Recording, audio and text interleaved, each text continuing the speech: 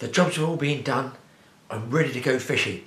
Unfortunately, the weather is actually too good. Have you ever heard that saying, only mad dogs and Englishmen go out in the midday sun?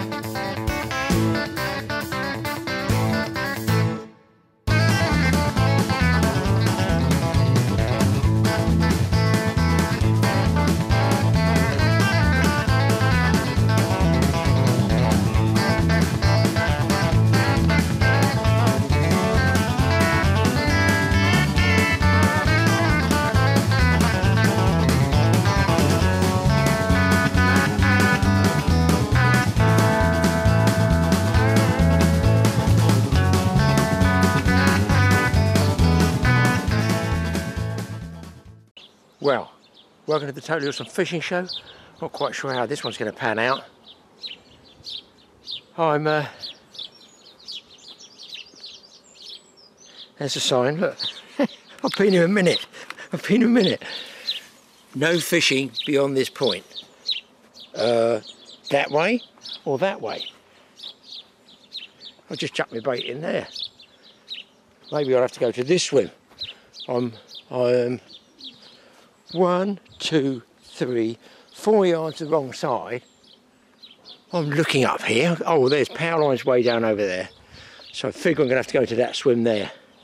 We don't fall foul of any local regulations, do we? I'm uh, down here at Totally Awesome Fishing Show and on a canal. Not, I'm not, you, know, you guys must know, I'm not a great lover of canals, but it's such a pretty place down here. I thought I've got to give it a go. It's probably going to be small fish. They do get tench. I think they get the odd you know, very old carp. But at the end of the day, I don't know where I'm going or what I'm doing. I'm not a local, I've driven two and a half hours to get here. What a nightmare to find it. But it's a great spot. Anyway, I'm going to move my gear back up here. I could just see the power lines over there, but you know what it's like. Just, I just threw some maggots because I saw it's really worn here and someone's fishing there. Most people catch tench at uh, four o'clock in the morning that means with a two and a half hour drive, I'd have to leave at half past 12 or something like that. That's not going to happen, is it, guys? Drive all the way through the night for a couple of tench. Fine if you live local, I'll be down here. So I'm just going to be catching anything I can. It's probably all going to be small stuff. I've seen a lot of small stuff when I'm walking along, so who knows? Let's get rigged up.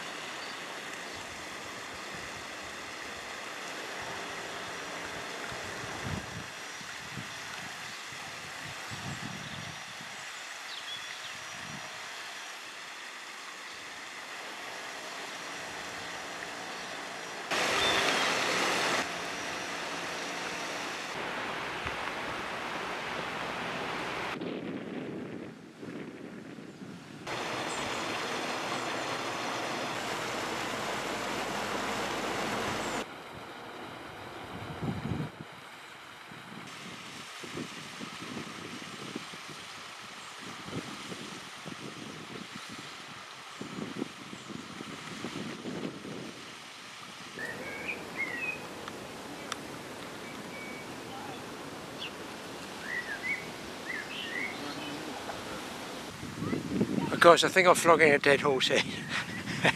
I can have three three canoes, a kayak and a paddle steamer the rate I'm going, so I'm going to pack up and I'm going to have to move, just get away from the incredible number of boats out. You can't blame them all enjoying themselves, except me. Well, I've got him there, but if I go any zoom in anymore, the focus would go. It's a great big blue-bodied dragonfly, double-winged. Yeah, that's just going to go blurred there now.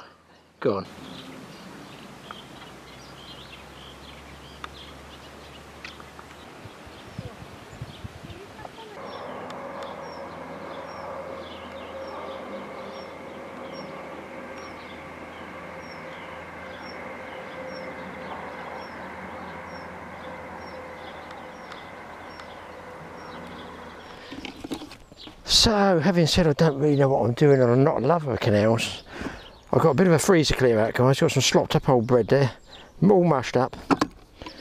Some frozen, well, I'll show you what they look like. Frozen dead maggots, they're all going in. And soon be going for other stuff. But I think with the bread there and the maggots, the small fish from what I've seen are going to take the maggots, but they might be slightly bigger fish take the uh, bread. I'll say that's the theory, but to be honest, I, I sort of haven't even got a theory today. And I, if I've, I've, already thrown a couple of handfuls of these in, you can see they're all dead, bits of corn, bits of ground bait. See it going in, mix it all up, they're going to eat a lot. There's so many small fish.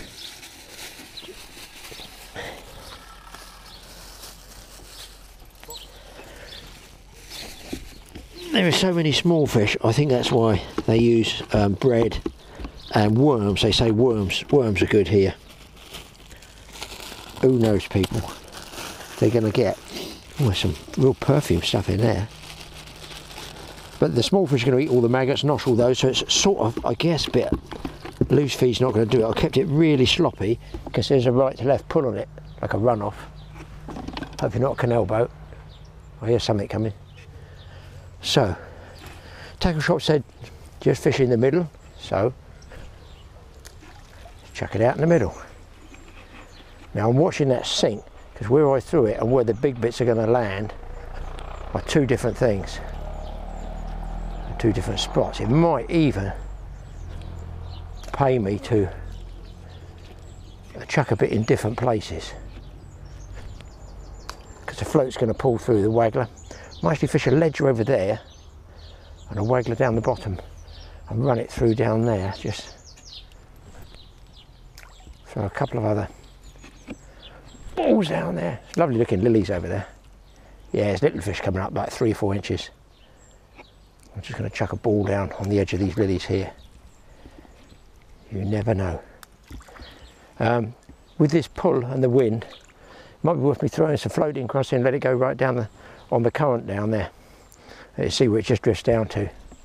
Now, they normally say fish little and often on a canal. Mm, I don't normally have to do that. Normally chuck it in, they'll eat it. There's plenty of small fish here. Little fish came up there. I think I'm going to catch small stuff, maybe small roach. But there are some good fish in it, some nice lookers. Right, let's get rigged up. Threw a piece of crust in and already I found something interesting because I know I'm not going to last long at this type of fishing. Loads and loads of little fish. I guess roach or rudd coming up attacking the crust, right? I'll try and film it for you. But in the margins, if I throw it out, if I throw maggots out there, they're on the maggots as they sink, they're eating them, okay? if I throw the bread out there, they're nibbling all around the bread for quite some time as it drifts down in the current. Now here's a bit about the float, just to give you an idea. I am using an antenna float, what's called an antenna float. Very fine in the tip, has an orange top to it, and then two other sections of yellow with sort of graduation black marks there to tell you exactly how far it's going down. There is a classic bite. It goes down and away. Now, when it goes down, you just lift into the fish. You don't necessarily have to strike hard, but you want to let the bite progress. If I can, uh, if I can uh, mention that, you know, it's, it's not always a question that you're going to get one of these sail away bites. It can go down slowly like that and go away. Then you strike. But you here, you see the yellow sections are showing. They're just disappearing. Just wait, wait, wait. Just disappearing. Hasn't gone completely, has it? Generally, small fish can also be line bites. But when it goes away like that, you want to strike. Here again, there are small fish bumping at it. You can go by the yellow first marker going up and down. And just when you think it's going to sail away, it's going to go under the wall, wall, wall. No, wait, wait, wait. Let that bite progress. Let them pull the float right under before you strike. By all means, strike once or twice to start with, but if you're missing them, you want to make sure you wait. If I throw it in the margin, say six feet out, I notice they twiddle around on the top, nibbling it, and they go pew, they come back, brrr, pew. Now that, that generally is a sign that there's predators in there. They're probably perch or pike, that's the two main predators, but near the margin. So I'm wondering, am I going to get sucked down the route of predator fishing and throw some mini plugs or spoons or something around? And I feel the answer is yes. I did throw a pike rod in, and summer piking can be fun if you get them up on the top action wise. But I don't know, there's a lot of fish there. That's just my theory. All this nibbling away on the surface does attract pike generally and or perch, but the way they they spook, if you like, tells me they have been hunted before. So I'm going to throw some bread crust in on the surface, just let it drift down, see what happens. Might be a carp, who knows. Probably not. I think it's going to be roach and rudds, tiny stuff for me today. But you never know. An idyllic spot. I mean, I have to say, it's very, very peaceful here. Loads of cyclists, loads of people. Over on the far bush over there, there must be loads and loads of, I think the sparrows, pretty sure that noise is sparrows. So nice to hear. And there's a boat higher place up there, so I've walked and walked and walked to get as far away from people and boats as I can. Obviously, I might be in a totally bad place, but there's about four or five wear marks here, so I figure it's an okay sort of place. I saw some fish go through there, looked like a chub about half a pound. I'm not sure I'm not going to fish in the margins down there, to be honest. I might put another little handful of bread down there, because this small fish is going to demolish it. I probably haven't got enough bread. Pretty sure I've seen, seen some rudd down there. They're only small fish, look. They're going to be noshing through this pretty damn quick. Look at that, it's like piranhas. Oh my, oh my god, I definitely haven't got enough bait. It's like the feeding of the 5,000, this one. Pick up the litter, whoever that is. Tells me another angler's probably been there. Look at that cloud dust. You watch, if you watch, they just suddenly go boom and spook. I'll put some floating crust out as well. Some of those maggots are floating there. If I get the other camera, you might actually see them how they feed and they go like this. That tells me definitely that they've had predators here. Now, keep the maggots in the shade. I've got a mixture of, actually bought some in the tackle shop. A pint of red and whites. They're going crackers at the moment because they're overheating. So I'm probably going to put uh, a bunch on this hook. I'll put bread flake on there, but there's, I've now seen so many fish in there. There's absolutely no point with the bread flake being on there longer than uh, two two or three minutes are going to chip it away. So my tip is put a load of maggots on first and you put a big piece of bread flake around the outside. I'm on a barbless hook, so the maggots will wriggle off. Got a decent sized big hook. This is just for a big fish. I'm going to pile a load of maggots on there, maybe 20, 30 maggots. Maybe in retrospect I should have bought some worms, but listen, look, blazing hot, middle of the day, half past 11 the chances of catching something other than small fish is pretty remote. But you never know. I think I'll put some red ones on there. They still chew and gnaw all these off.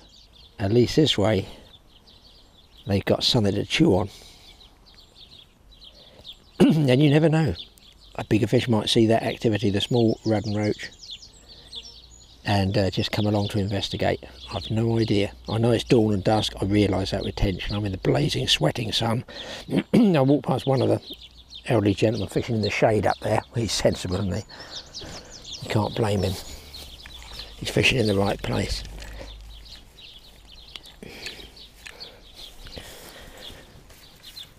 So I'm going to chuck this out where I put the ground bait. It's got one triple A shot on it.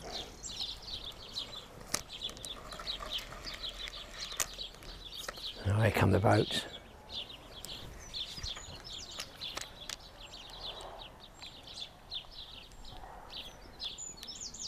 Yeah, there's just too many small fish there.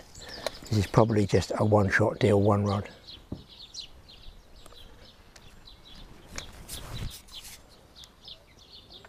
Right, I can't fish a second rod, people.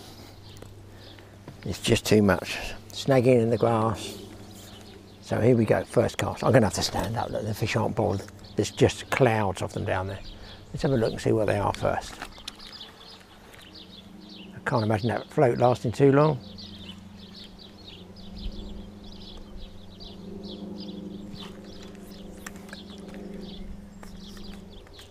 Maggot straight off, barbless hook. Wonderful. Now, I am going to chuck another ball of ground bait down there because I just saw some bubbles come up. There's a gazillion fish in there. I just want to see what they are. I cannot see me lasting long. I feel the predator rod coming out.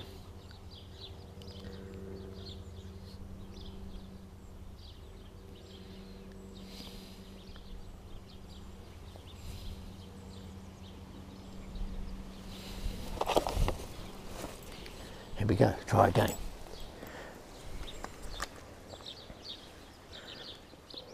you want to see what species they are?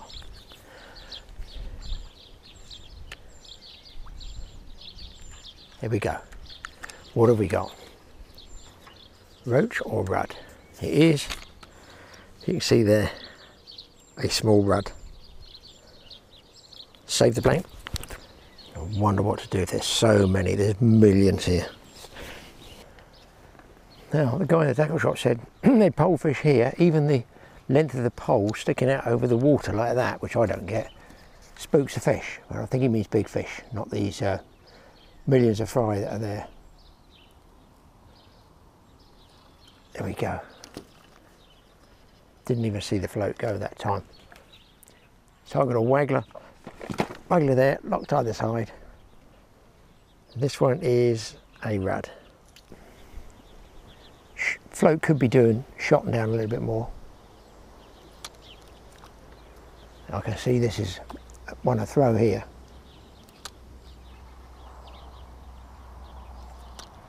Yep. Goodness me, if you go in perch or pike fishing,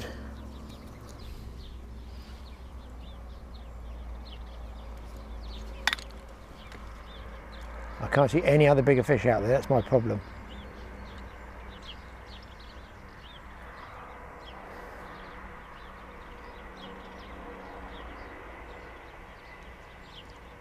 Uh, slightly bigger. Just a little bit bigger there, look. hold still. Oh, what is that? Is that a disease, a bite from, from a heron, or what? Right, I've got a bit deeper. They just boil on the surface. Ridiculous amount of fish in here. Can you imagine what's in the whole stretch all the way down? Now they're straight on. I'll put a shot further down. It's made no difference at all.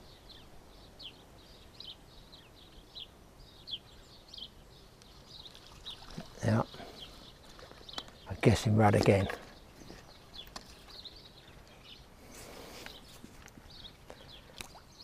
So look, I've gone from here in depth down to there.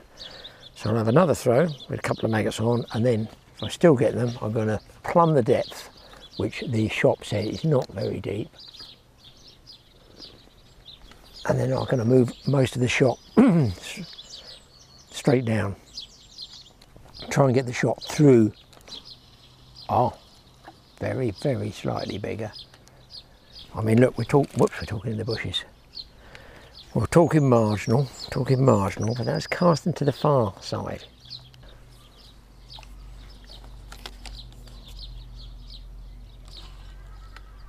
Thing is, if I just strike a miss, it doesn't matter because there's another 5,000 in the middle. and then I can bring it in again, strike and miss again I think the maggots are off this time. Hang on a minute, is that a slower bite?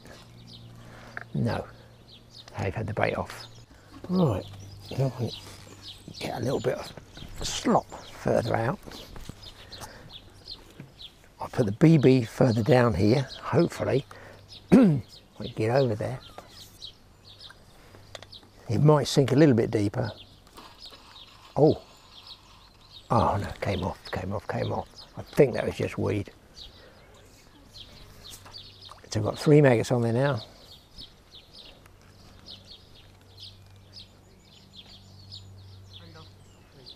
Mm, that's interesting. I'll put another another shot on there. I feel. There's one, there's one, there's one. Oh. Yes.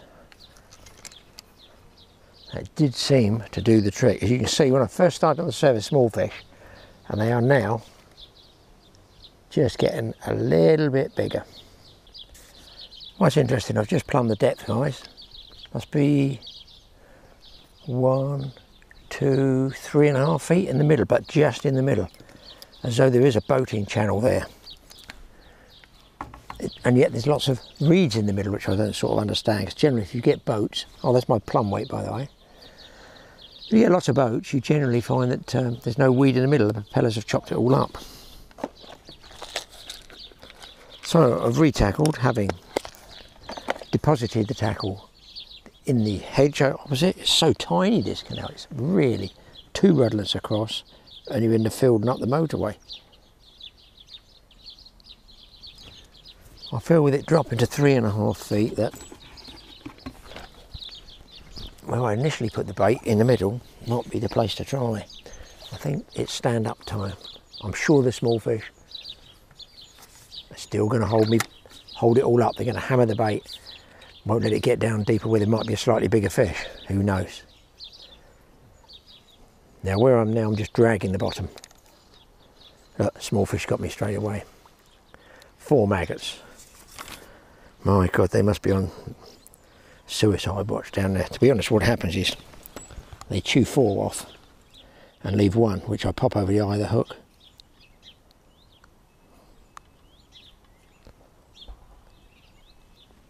Try again.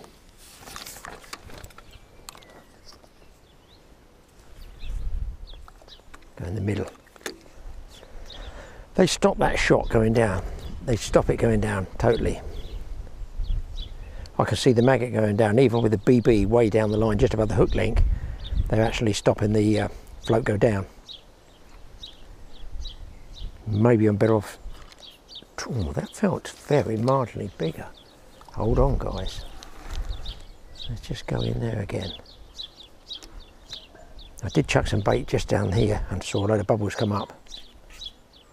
The small fish have got me at the moment. You see they're doing this with the float all the time, can't quite take it under. But that's dragging bottom now, it's slowed. So if it dips under now, it should be a fish. Right, it's going to try dragging, dragging the bottom in a load of ground bait that I've. Now I can't even get, I can't even get down. I cannot get down, guys. Impossible. Look, it's just, it's just, I just can't get to the bottom. Well, I've just seen a tench swim right down there really fast, obviously not feeding in this bright sunshine, and he rocketed, disappeared up there. So that margin in there does have fish come into it. I've tried bread, got pieces of bread flake like this on there. It does slow up the bites on the small fish. It doesn't get me any bigger ones. It doesn't get me anything at the moment. Interesting to see the tench moving though. I might pay me to go back down there and fish in the shade. My other problem is I've gone to I think to the wrong car park, which says they lock it and shut it at seven, and I wanted to stay till dusk, like nine. So the chance of anything decent's really gone. Today is yet another sort of disaster. Well, I went out in the middle, guys just about to move and go pike fishing, I thought I'd try a piece of bread flake in that deep channel and much better fish there. Much nicer one, so. Hope, but still small fish, but listen, it's action and I'm getting quite, quite a lot of boats here. The situation is this, when you get fish of the same stamp, and that's a nice one, you want to concentrate that same size bait that you've been using, could be a piece of bread, and I just pinch fold it, what we call pinch fold, over the hook and throw that out and it will generally always come off once it's wet under the first cast you know once that bread's wet. Fold it around the bend of the hook so it's flat level with the hook. You'll get probably one cast out of a pinch of bread like this but very often you know where I'm fishing on that shadow line you might pick off the slightly better fish. Is that a roach? Or is that another Oh no, that folks is like a little skimmer bream, so something different down there. All I did then, yeah, it's much more silver. All I did then was just shallow up three inches. So the bread is doing the business, and I've certainly established there are indeed a gazillion rudd in here. I think I might just give it a little bit longer. Well, what's this one? It's a little bit. No, no, a little skimmer. Hooked in the back, that one. Man, if you were going pike fishing, you you kill for those. Now, you people must know I get really bored really quickly. Nothing's happening in front of me. I'm out there throwing up pieces of bread. Generally, the bread goes everywhere with me. A crust out on the surface can always give an indication of what's about. There could be anything, a big rudd, a carp, maybe if they've got chub in there, chub could show. So I always throw it out, obviously, when there's not many ducks around. Here you can see, look, that's a decent rudd. Um, I think there was a rudd, maybe a perch. Up there, I can't tell you what I've had. 50, 60, 100, I don't know. Just lots and lots and lots. But I cannot get a decent sized one. I'm going to have a walk down in a minute and see if I can pick one off individually on a crust, you know, without fishing blind like this. I'm just fishing with virtually the maggot skin. Tench hasn't come back, I can see over there, I will definitely see him. There's fish moving over there, but I think what I'm looking at is actually um, numbers of fish, if that makes sense. But as soon as I go further out on the baited area, they're swarming it. Yes, absolutely. Peaceful, idyllic, much better moving away from that boat area. Oh, there we go. I wasn't even watching then. Felt that through the rod. So there is no shortage of rudd in this canal. I cannot believe that I haven't actually got bitten off by a pike or had a perch, big perch following or something. So there's that much food fish in here. It's amazing, really, to be honest, that there's not predators every eight feet. They would have an absolute feast here.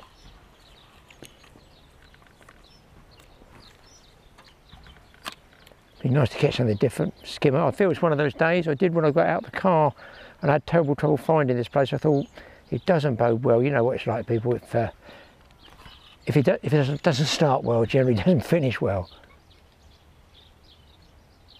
I'm getting so many, so many false bites. Even down here, look, if I just let it sit down there.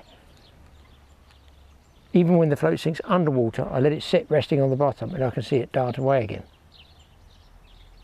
On the ledger rod, Zippo. They're just stripping everything.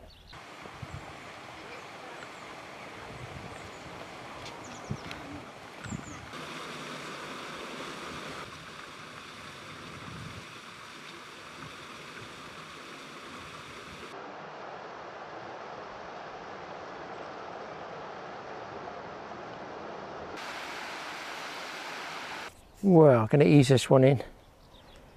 Just a swinger. That's the sort of stamp I'm getting now. And there seem to be red maggots. Three red maggots there. A little bit better rudd. Look, it's all fun fishing. It's all fun fishing. But by God, is it hot. Right. Whether to move or not, I don't know. I still fancy checking out some of the floating crust. But when you're getting fish like this every so often on a float, pretty tough to move a perch. Well, as usual with perch, it's not lip hooked, but it's still a little perch. There we go. So, getting a few fish. I mean, I must have had 10 pounds of fish, I suppose. That's still pretty good, isn't it? Here's a fish you don't see very often nowadays, or I don't anyway. It is a bleak. The River Thames used to be heaving with them.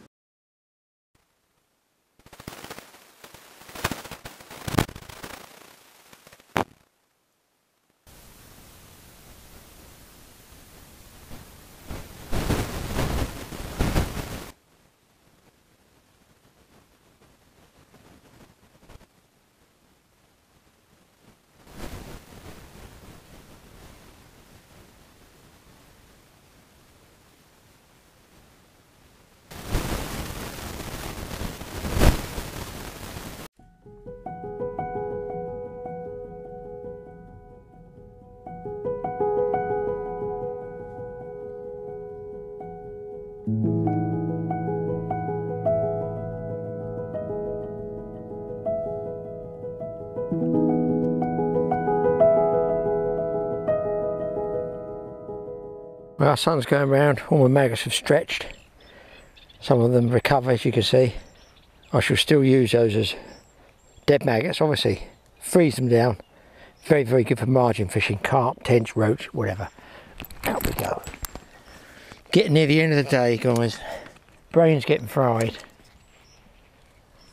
Oh, yeah, that is hot. I'm guessing I've had probably if I had a keep net 12 or 15 pounds of fish I would guess all bits and pieces but nothing over I want to say six ounces So you can't see he's not fishing the canal. Oh, I'm missing most of them. That's on a single maggot. So worth a try. Any canal. Take a bit of getting used to. You've got to find the swims. I don't. It's like 120 miles away from me. There we go. But I'm still popping a few out. That looks like a dace or a bleak. Please be a bleak.